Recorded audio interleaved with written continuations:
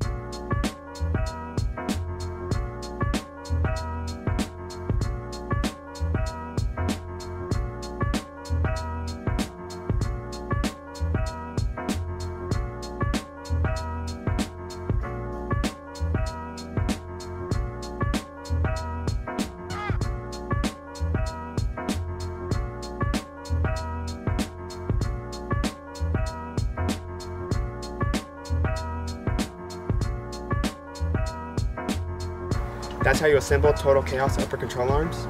Thanks for watching, I really appreciate it. Be sure to give a thumbs up if you liked the video. Also hit the subscribe button and I'll catch you on my next video. Peace!